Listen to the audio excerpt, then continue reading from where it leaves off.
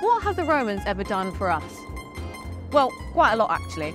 But that's not what we're asking today. We're asking who was the first Roman to conquer Britain? Oh.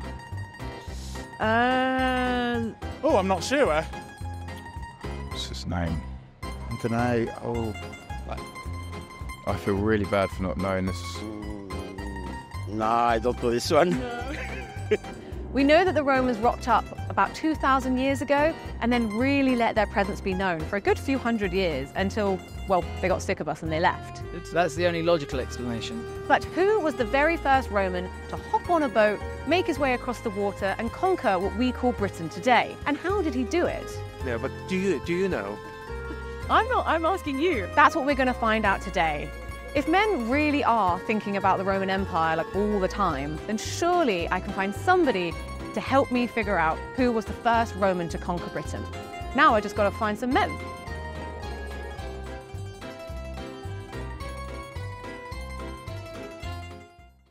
Who do you reckon was the first Roman to conquer Britain? Okay, good question. I do know this one uh, because it was um, it was Brutus. Now I have to say I, I can't remember who, who it was. Uh, it was one of the it was one of the first century emperors. right? Not uh, not Julius Caesar's mate, but like an ancient Brutus, and that's why we call Britain Britain. I heard Brutus conquered the uh, indigenous giants of Britain and claimed Britain. That's what I, I'd heard. The indigenous giants. Yes, I believe it. The giants were the indigenous race before Homo sapiens. Huh. Augustus or something. I'm just thinking of names Yeah. that I'm trying to go for. Yeah. Yeah, that's that's what I've got in my head, but I haven't got a clue. All right. So the word Caesar comes into my head, but probably not. That's Julius Caesar, I think. Uh, well, the first one who tried was Caesar. I mean, he tried and failed. Uh, Mm, I think it's Claudius. Oh yeah, what can you tell us about Claudius? Nothing much other than he was the first Roman to conquer Britain. Maybe. Hadrian? Is it the one with the wall? Oh, Had- Hayden, Hadrian, Hadrian's, Hadrian's wall. I believe Hadrian got a little bit far because of his wall. uh, that's my knowledge about Roman emperors going into Scotland is based on Hadrian's wall. Uh, well, I'm going to say Septimius Severus. Agricola? Is it Agricola maybe? Do you know like why he wanted to invade Britain or why Romans generally wanted to invade Britain at that time? I suppose I think they got as far as Gaul, like the conquest of Gaul was like quite a big uh, milestone, and then I suppose maybe because Britain's just like a short hop over, and they must have been aware that Britain was there. Maybe maybe it had useful resources that they thought would be good to have control over.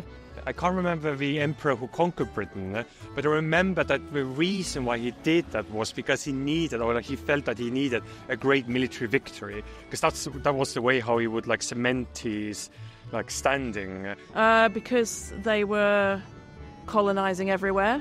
How do you think the Roman invasion is remembered? Is it remembered as a good thing or a bad thing? I feel like by and large, yeah, it's been given quite a positive spin, as in that the Romans uh, brought lots of useful civilizing things uh, to Britain that it's perceived that weren't there before.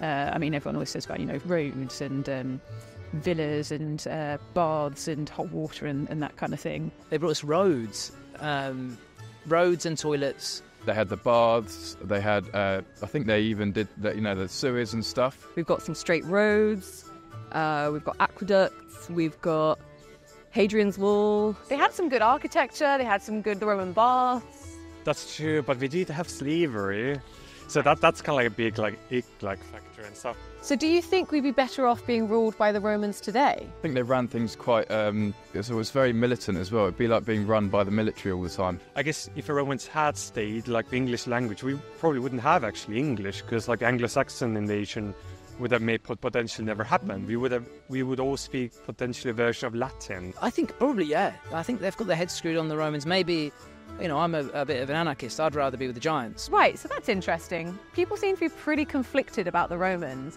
Yes, they were an invading force, but they also gave us some pretty cool stuff like running water. However, we're after the first Roman to conquer Britain. Our five rival Romans are Julius Caesar, Claudius, Agricola, Hadrian, and Septimius Severus. Now we just need some expert knowledge, and for that, I'm heading to meet Dr. Simon Elliott, who will hopefully be able to tell us who was the first Roman to conquer Britain.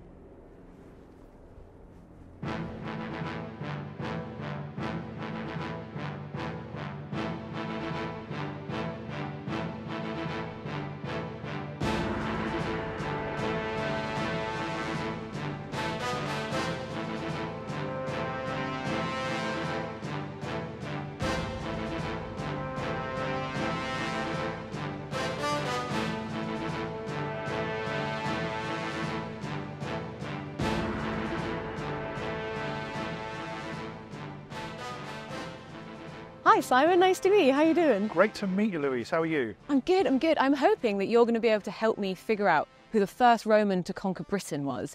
But before we get into that, why why have we met here? Louise, this is the beginning and end of Roman Britain in one place. This is Richborough Roman Fort.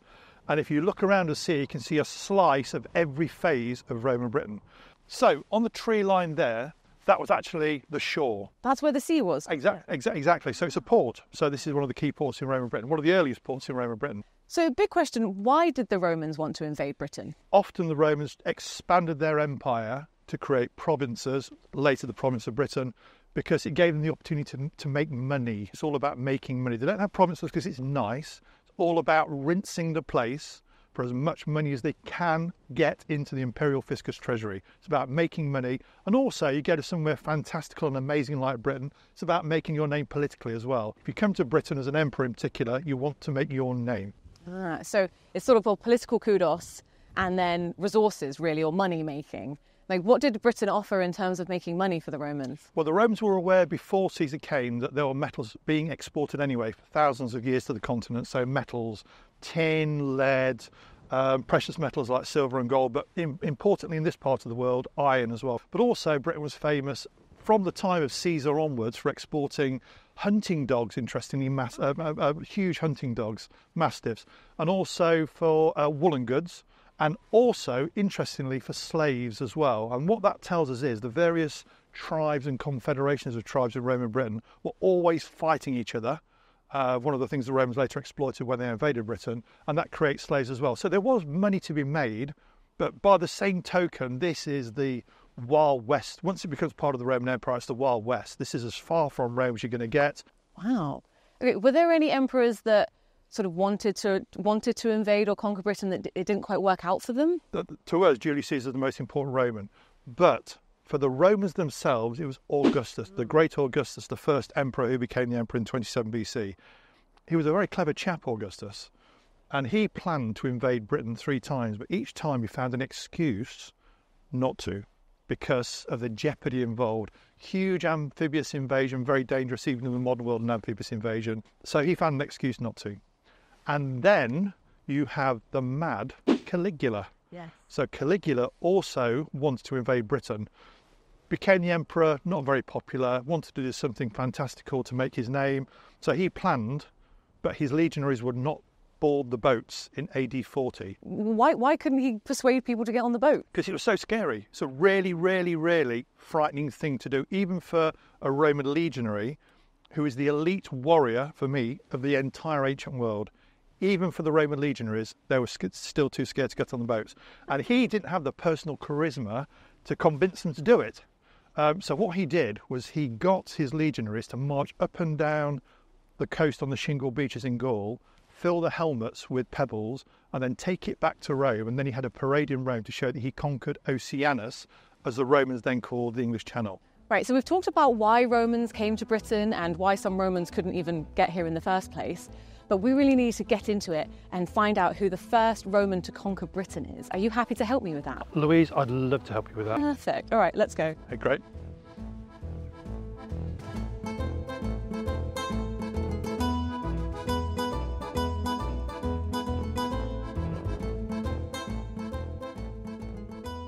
Right, Simon, so we've come here to Ramsgate, overlooking the gorgeous beaches here where the Romans first invaded. And we're on a mission to find the first Roman to conquer Britain. And we've narrowed it down to five contenders. And those contenders are Julius Caesar, Claudius, Agricola, Hadrian and Septimius Severus. What I need is your help in figuring out which one of those might be the first Roman to conquer Britain. Are you up for it? Happy to help. Brilliant. All right, let's start with this guy. Very popular, big name. A lot of people were saying him. Julius Caesar. Now, are we right in thinking that he invaded Britain? So Julius Caesar came to Britain in 55 and 54 BC um, as part of his conquests of Gaul. So he didn't come specifically from Italy, etc. He came as part of his conquest of Gaul. Now, Caesar never intended to overwinter here, I don't think. I think he came as part of a PR exercise when he was trying to make himself the biggest name sort of in the Roman world. Then it was the Roman Republic, not the Empire. It wasn't an emperor, it was the Roman Republic. Um, so I call them incursions. He came over on two incursions, 55 and 54 BC. Okay, so you're, you're saying it's not even an invasion, it's an incursion. What would you say is the difference? Um, an invasion means you're intending to stay. So the Romans don't do things by half. If they're coming to stay and create a province, that's very different to coming in what is effectively an armed reconnaissance. Um, an invasion, you want to stay. An incursion, it's coming over and then going back again. So why invade? You said earlier that it's not a, it's not a small trip across the across the channel. So why invade if you don't, or why why carry out an incursion? Sorry, if you don't plan to stay. In late Iron Age Britain, so Britain before the Romans, there was a lot of commonality with the Gauls. And a lot of Gallic refugees were coming here because they'd been defeated by Caesar in Gaul. This is where they were coming to hide and try and find a place of safety. And they were agitating the local Britons, come on, help us fight, fight these Romans who were conquering Gaul. Um, but also, Caesar knew that there was uh, sort of raw materials here, like metals, etc., where he could make a bit of money. But Caesar principally was intent was intent on making his own name throughout all of his campaigns, and Britain was a fantastical place for him to be the first Roman of significance to come to. So he just wanted to sort of just pop over in a way, just so he could tell people he'd been here. Really. Absolutely, but this is popping over on a scale that the Romans would used popping over. So the first time he came over in 55 was with 10,000 men. Okay, it's quite a big pop. Yeah. And then the second time was an even bigger pop, 25,000 men. Uh, in the first pop, when he came over, um, his cavalry didn't arrive, and that's quite difficult actually if you're campaigning on land because it means you can't really scout ahead and you can't chase a beaten enemy. So he didn't get much further than the coast in 55. But in 54, as a full fat campaign, he eventually fought his way through Kent and over the, the Thames, forced the peace, peace treaty on the Britons, uh, and, and that is very important Mm. in the narrative of Britain in the Roman world because it puts Britain on the Roman map. Okay, so he comes over. He it's not. I'm assuming it wasn't a very warm welcome. There were amphibious incursions, and the first time he had to land against a hostile shore because the Britons actually were ready for him. Not the second time, but the first time. Um, and that was a really tough invasion in 55. It's one of Caesar's worst campaigns, actually, if not his worst. Didn't plan it very well, logistics weren't very well planned, didn't do his reconnaissance of the coastline here very well. Uh, it was told by the people who'd come over to recce it for him the best place to land was on the White Cliffs of Dover, which is a bit daft when you think about it, because when he arrived, he's got big white cliffs, and on the top, they're the native Britons chucking rocks and stones and Oh, really? firing arrows and throwing javelins at him. So he hot tails it up here behind where you are, um, so looking towards the uh, sort of uh, northeast coast of Kent, Pegwell Bay, all the way down to sort of Deal and Walmer, and that's the sort of area where he lands, and the Britons follow him. So he's coming upon his ships. The Britons are going, it's all like a cartoon. The Britons on the coast, Caesar on the ships. Caesar realises he gets here, is a very good place to land. He's going to have to fight his way ashore. And this is what Caesar tells us. It's always worth remembering we know everything about Caesar through his own words. The best PR man in the ancient world. Um, but the Romans come ashore eventually, but it's a poor campaign, doesn't get off the beach very much. But the second campaign actually is much better. He's learned all his mistakes. Um, he is a great military leader, actually. He let himself down, I think, in the first campaign, but in 54, he gets what he wants. But both times, very importantly, he doesn't intend to overwinter. That's a good point, though. So everything we know about this, about Julius Caesar coming to Britain, is from him, something he wrote down. Yeah. So he says that he came over. He the second time there was an awful battle. He the Romans won, but then they just leave again. I know you say that they don't, uh, they never intended to stay over winter, but is there not a part of you that thinks that maybe they lost and Julius Caesar went back and was like, oh no no, absolutely thrashed them, absolutely thrashed them. But The second campaign was very, very, very well planned. He'd learned all his mistakes, and to my mind, actually, if he intended to overstay, he'd have bought provisions, but he didn't. He's such a good PR man that I would imagine in your vox pops, most people who say who, who conquered Britain, they'd say Caesar. That's amazing. You think about that. 2,000 years ago, someone was writing the word. We're still repeating today. Yeah. Do you think you'd be good at social media? I think Caesar will be absolutely superb at social media. I can imagine that he'd um, spend money on employing the best media consultants in the world today. I would love to see the social media feed of his invasion of Britain. Yes, Arri- arrived off the coast of Dover. Um, bit of a problem, but we overcame it. Yes. It's really interesting. But ultimately, we need to know, so I'll hand him over to you. Julius Caesar, is he a finalist for the first Roman to conquer Britain? No, it's a thumbs down from me. down. Thumbs down from me. No, Oh gosh, and why is that? Just because he didn't actually invade or no, conquer? he didn't conquer anything. He just came over and went back twice. He did some good stuff for the Romans. He helped set that foundation, but What I would say is Julius Caesar put Britain on the Roman map, uh, and he plays a key role in the story of Roman Britain because he set a precedent. But he did not conquer Britain because he did not overwinter. So no. Nope. So All for right. me, Caesar is going down there. oh, all right. Bye, Caesar. Bye, Caesar. Don't know if you'd like that. that wouldn't be going on his social media feed, would it? Bet he can't spin that. Brilliant. So next up, we have Claudius. Now, earlier we were stood on the Claudian Gateway, so I feel like that's a bit of a hint that he may have invaded Britain. Is that right? Claudius actually himself didn't carry out the invasion of Britain. Oh my gosh, drama. so okay. people call it the Claudian invasion, but actually Claudius was very, very canny. Um, Claudius is very ill-favoured if you look at the way he's written up in the, the, the, the ancient sources and then the way that he's interpreted in modern sources today as well. But in, actual fact, he was a very successful emperor. Um, however, when he became the emperor, he needed a big political win quickly because he was a very unlikely emperor, to say the least, to start with. And he decided to do the most incredible thing, which was to invade Britain. Um, but he also knew that if he failed, he'd be dead.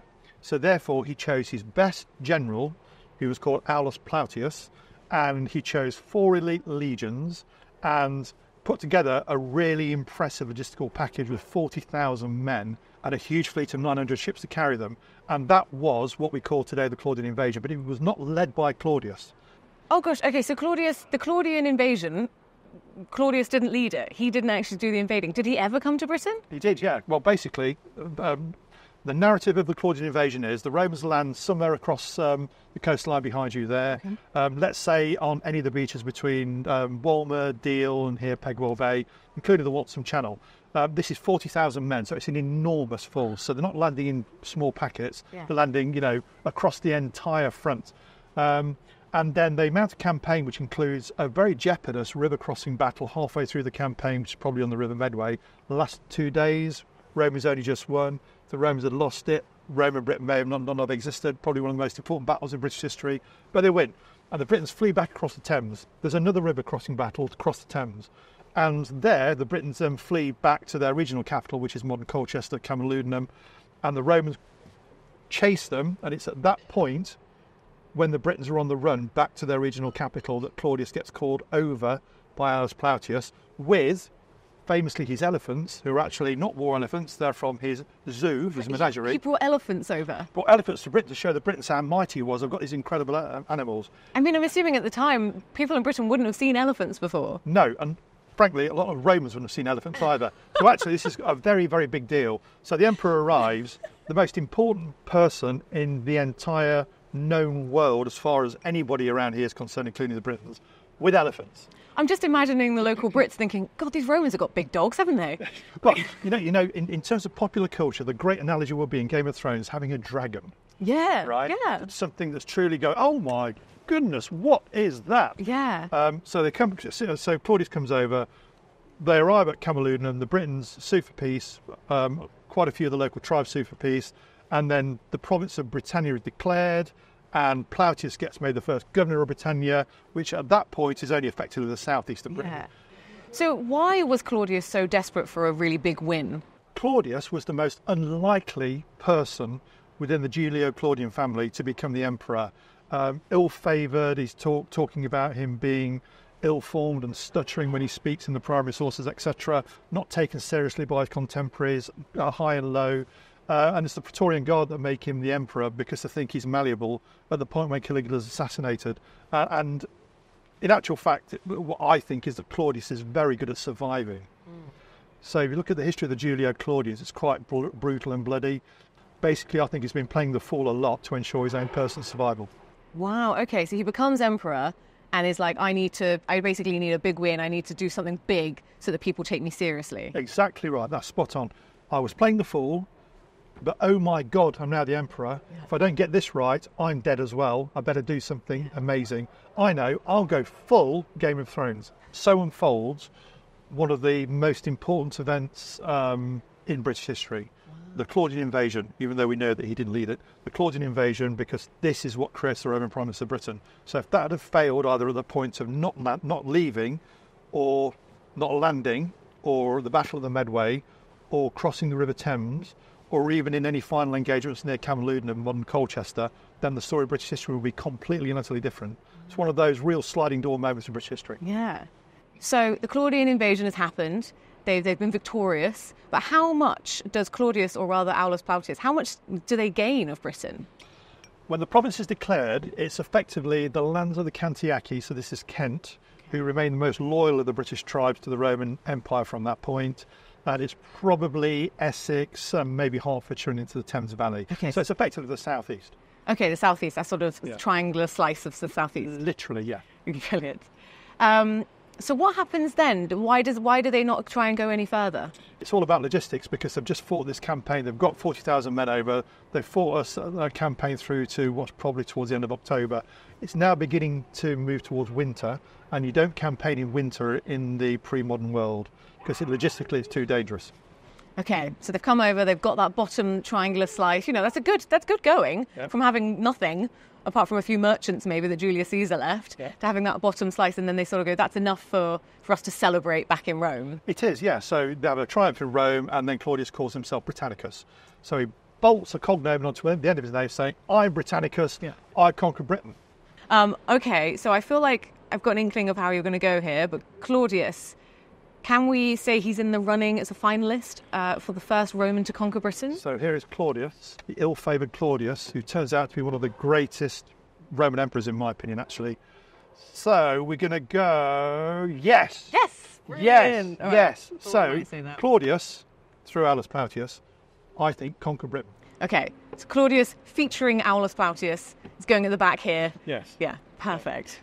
Next up, we have a chap called Agricola, who, am I right in thinking he wasn't an emperor either?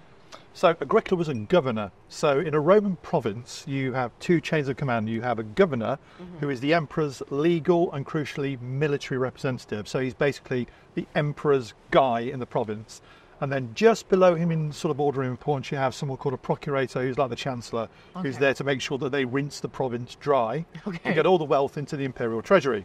Um, so Agricola was a governor. Um, he's got a lot of form in Britain actually because uh, in his early life actually he fought in the crucial battle against Boudica where the governor at the time, Paulinus, defeated um, Boudica. So he was a junior officer. So he knew a bit about Britain anyway, anyway when he came over. Okay, so he is a Roman, real military guy, and he grew up almost fighting in, in Roman Britain. Absolutely, yes. So he knows Britain, um, and he's chosen very specifically by the emperor to come to Britain because the emperor's decided uh, that the Flavian dynasty has taken over from the Julio Claudian dynasty. They've decided that actually they need their own kind of success like Claudius's earlier invasion. Now, what the Romans hadn't done to that point is conquer the whole of the main island of Britain. They've just got that bottom triangle sort of area. Well, by Agricola's time, they'd spent about 40 years sort of carving southeast to northwest, slice after slice after slice of British territory, and then bolting it into the province. So the province had incrementally, with great difficulty in many cases, especially in Wales, uh, been enlarged. But it hadn't gone beyond the line that today uh, we know as the line of Hadrian's Wall, built later, uh, which is from the Solway Firth to the Tyne.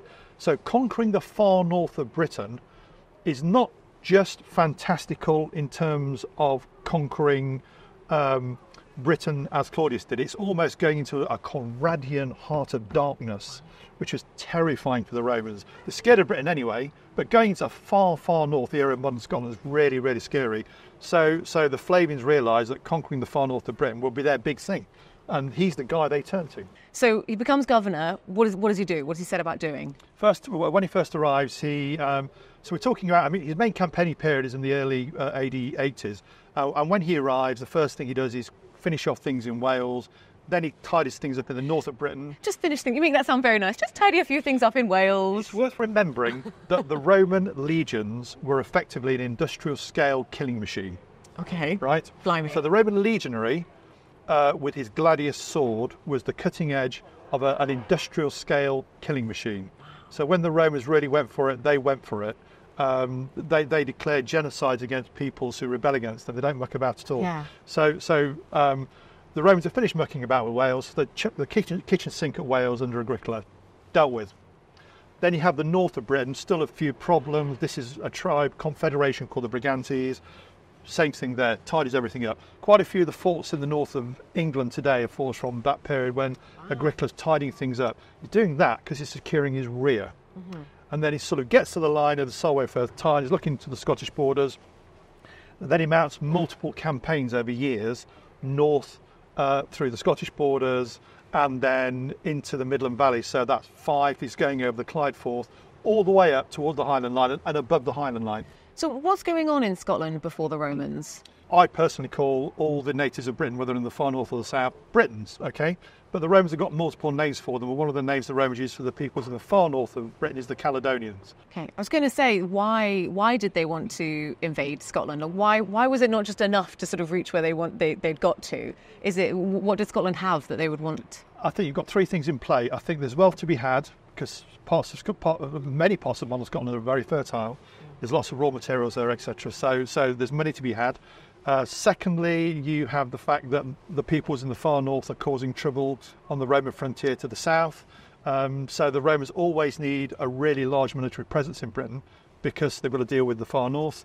Uh, and then thirdly, this is the Flavian dynasty. They've taken over from the mighty Julio Claudians. Um, they need political capital from military and martial success. So it's all about making the name of the dynasty. Had any other Romans tried to invade Scotland and conquer Scotland before, and why weren't they successful? It's really important to remember, firstly, that we're seeing the ge- geographic divide of modern Scotland and England through the prism of today.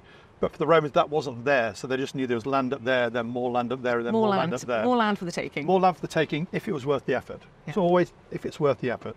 Um, and there was a political reason to do it. Now, one, maybe two earlier governors maybe did campaign in the Scottish borders, but to me it appears that nobody had really gone for it to that point.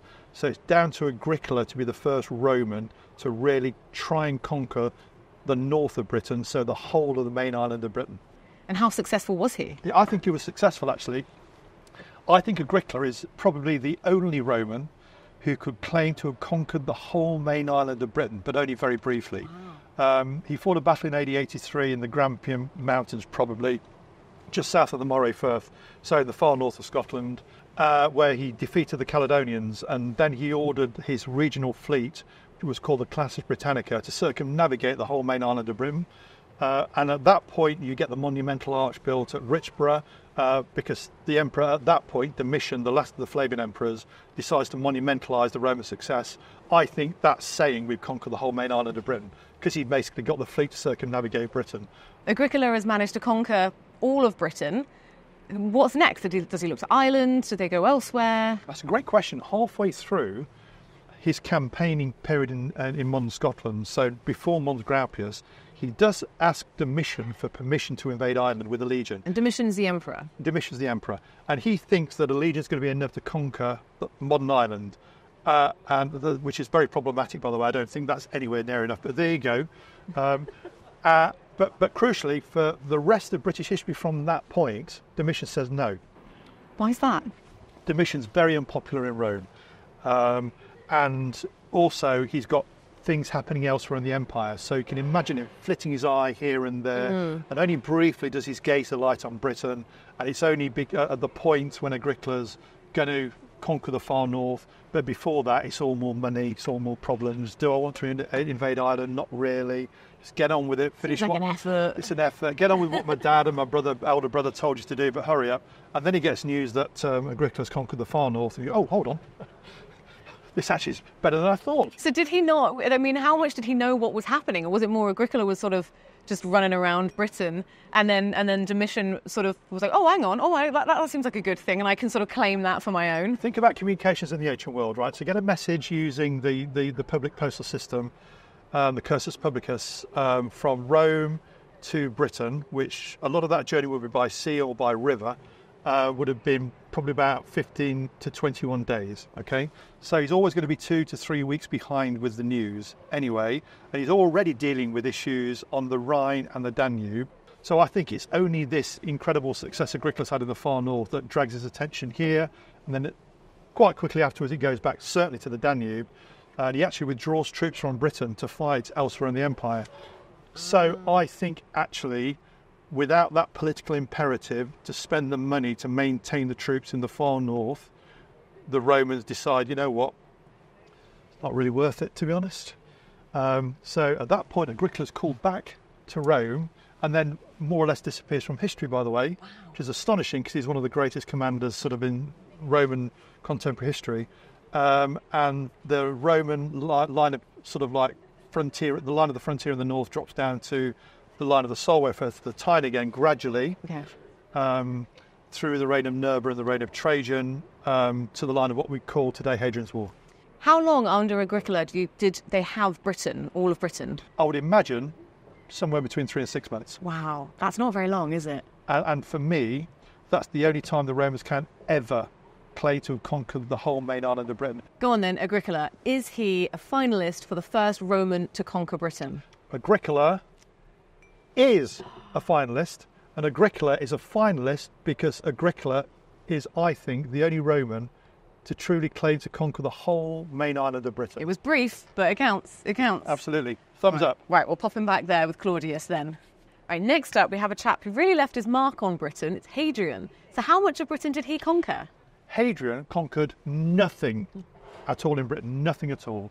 Hadrian uh, is known in Britain today because of Hadrian's Wall, which is the wall that he built to fortify the frontier which the Romans created after Agricola was pulled back from the far north. Um, and it was part of a fortification campaign across the entire northern frontier, so in Germany along the Danube as well. So there was nothing special about it, and he was the Roman emperor that basically turned the Roman Empire from offense to defense.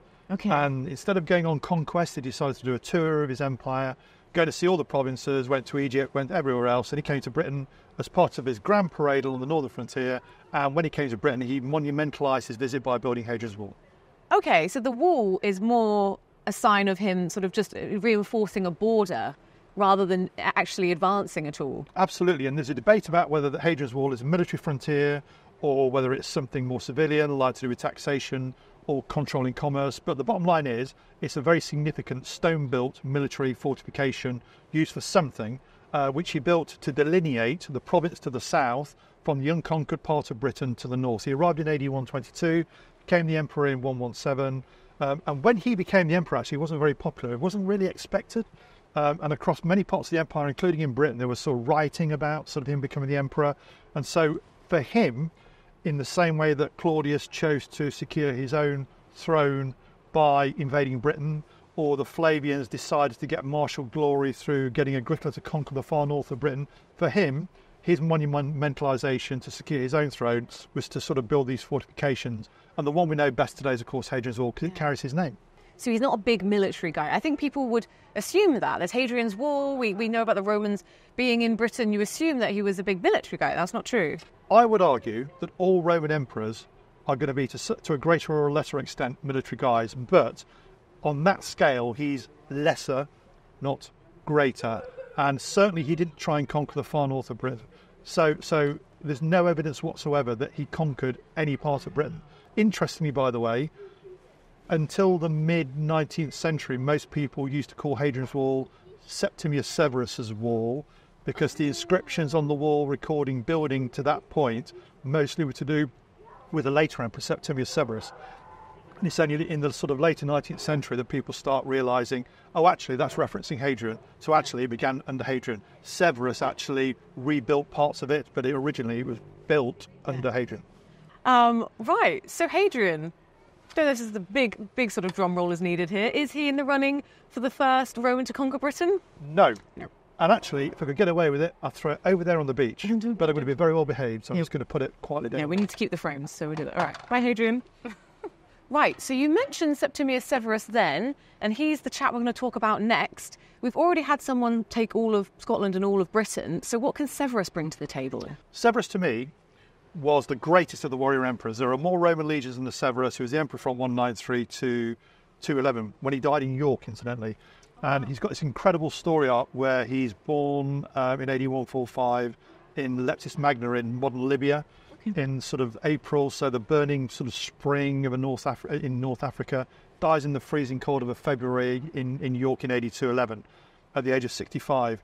Um, and when he becomes the emperor, he doesn't like being in Rome. He spends most of his life on campaign. Towards the end of Severus's life, he's conquered the Parthians, the Persians, and he's looking around how he can really, really cement towards the end of his life his martial reputation. And he decides he's going to invade the far north of Britain again. So he's going to do Agricola again, but his intention is to stay. And he really goes for it. He brings over 50,000 men, which is the largest campaigning force ever on British soil. Really? So- ever? ever. Not just in Roman. Ever, ever, ever, ever, ever, ever.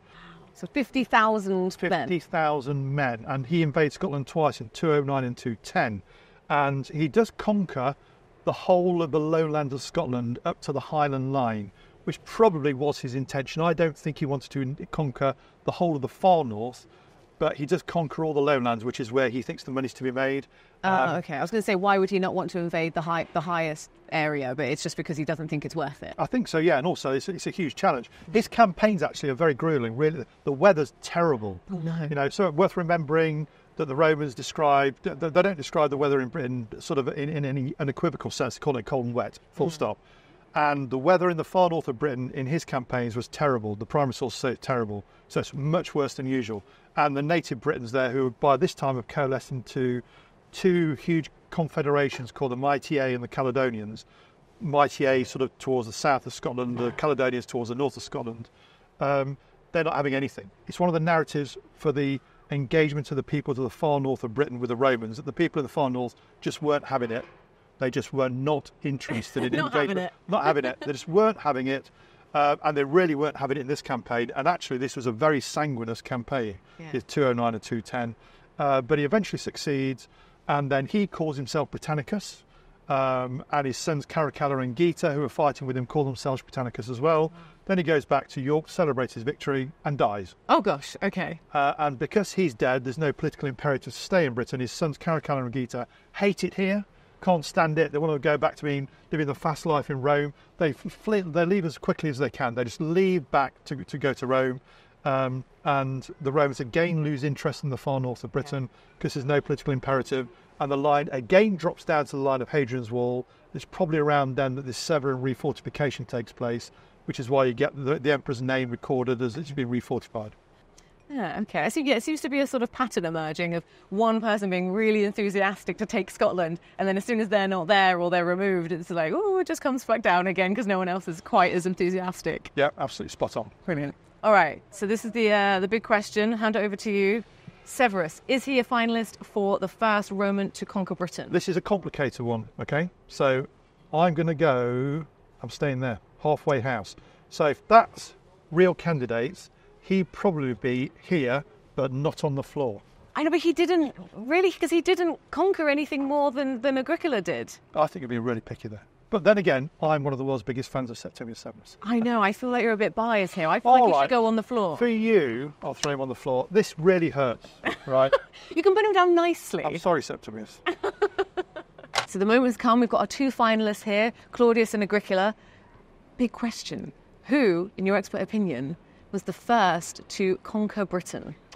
Right, it's a very difficult question to answer in regard to these two because there are two sort of parts of the question. What do you mean by conquer, and what do you mean by Britain? Okay. So in terms of conquer, it's coming to stay and form a province. So Claudius, with Aulus Plautius, did conquer Britain in that he created a province.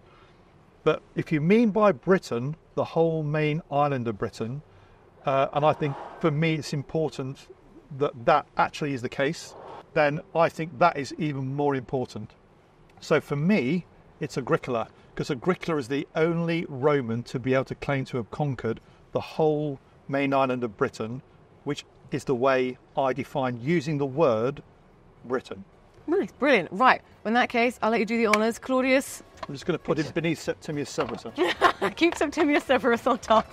There we go. And Agricola is in our top spot here. There Good for go. him as well. Like he's not emperor. Ultimate, the ultimate thumbs up. Getting all the ultimate thumbs up. Brilliant.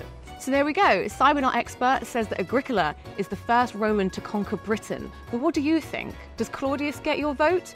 Are you a Septimius Severus fan? And do you think Julius Caesar got stabbed in the back? Let us know in the comments below.